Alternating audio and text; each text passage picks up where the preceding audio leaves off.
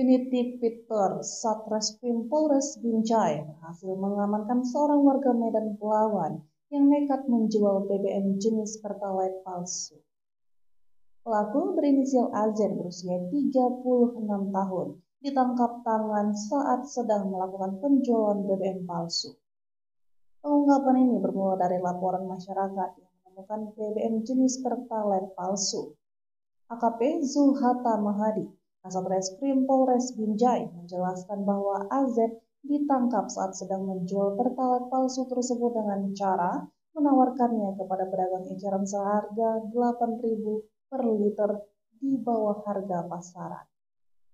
Pelaku membawa BBM pertalite yang asli saat menawarkan kepada pembeli, namun saat transaksi ia menyerahkan BBM yang diduga palsu.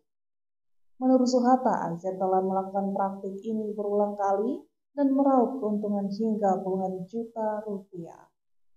Pelaku ditangkap di desa Kualan Cirim, kecamatan Sebingai, Langkat.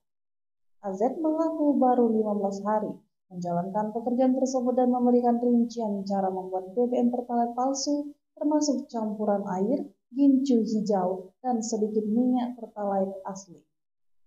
Tersangka kini ditahan oleh Satreskrim Polres Binjai untuk penyelidikan lebih lanjut dengan sangkaan melanggar pasal 54 Undang-Undang Republik Indonesia nomor 22 tahun 2001 tentang minyak dan gas bumi.